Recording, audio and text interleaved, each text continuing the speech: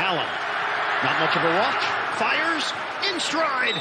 McKenzie with another grab. His 10th of the day. First down for the Bills. Take the running play. Allen rifles. It's McKenzie. Fourth down for the Bills. Allen faking. Running. Allen. The cut and the first down. Josh Allen. And that incomplete pass just stopped the clock at 332. Allen. Step it up. Shovels ahead. Catch made. Stefon Diggs. Spin move. Avoids. Still going. Diggs has got a first down. Inside the 10.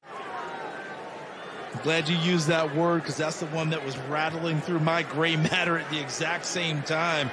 Here are your two new headliners at the improv.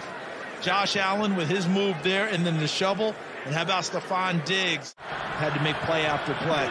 If you're a runner, you better better cover the football. They've been punching at it. Allen tosses. Touchdown. Dawson Knox on the receiving end.